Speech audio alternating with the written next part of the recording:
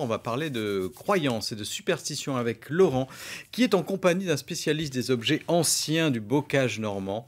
Et dans le bocage normand, on sait que les mauvais sorts, ça existe et qu'il faut absolument protéger sa maison.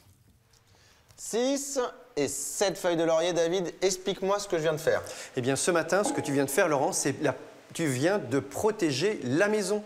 Le seuil de la maison, le seuil de la ferme, en fait, au 19e siècle. Alors évidemment, bon, elles ont elles sont au-dessus d'un feu. L'idée, c'est de les réduire ensemble. Voilà. Et ensuite, euh, on va la répandre, répandre ces cendres sur le seuil de la maison, tout simplement pour une terme en question, une question de protection et de donner de la chance aussi. Euh, donner de la chance. D'où le, bon 7, le laurier, c'est très biblique, donc c'est un peu ça les références. Absolument. Et alors, qu'est-ce qu'on peut avoir comme d'autres traditions? Déjà, pourquoi toi, tu t'y intéresses? Alors, je suis président d'une association de sauvegarde du patrimoine et euh, dans le collectage des objets que nous, euh, que nous faisons, eh bien, nous avons collecté des objets de magie du bocage normand. L'idée, c'est d'essayer de comprendre un petit peu les traditions, d'où viennent certaines... Euh, coutumes aussi. Tout à fait, et surtout cette mécanique est liée à ces objets de magie, car il y a une mécanique en tout.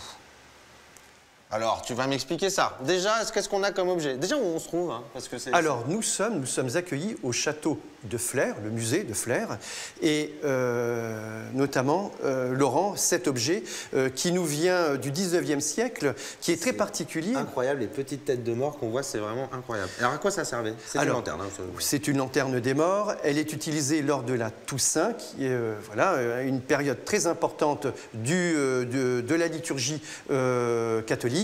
Et nous allons sortir ces lanternes-là, tout simplement pour accueillir les morts à l'extérieur, leur demander de ne pas rester dans le foyer, mais leur dire, allez, partez vers la lumière. Partez vers la lumière. Est-ce que c'est, on peut en voir, c'est un objet rare, ancien, commun? Ces objets comme celui-ci ne sont pas communs. On peut en trouver d'autres dans des cimetières, notamment celui d'Aunay-sur-Odon, qui a été malheureusement détruit en 1944 et reconstruit après-guerre. Et que je, recommande d'ailleurs la visite dans le cimetière de cette grande lanterne euh, en béton, euh, lanterne des morts, euh, voilà. Donc on recommande à tous. Alors pourquoi est-ce qu'on a cette petite, cette petite, c'est qui? Alors, Sainte-Thérèse de Lisieux. Sainte-Thérèse de Lisieux. Voilà. Tout simplement. Et euh, nous. Euh, Qui est partout, hein Oui. Sur des assiettes. Euh. Voilà, en assiette, une, des faïences, également un bénitier en, faïence aussi. En fait, Sainte-Thérèse de Lisieux est là pour protéger le foyer. En fait, c'est une très belle image de notre servante, je dirais, locale, notre sainte locale, que l'on pouvait acheter lors des communions, des processions, etc. Aujourd'hui encore, c'est une figure locale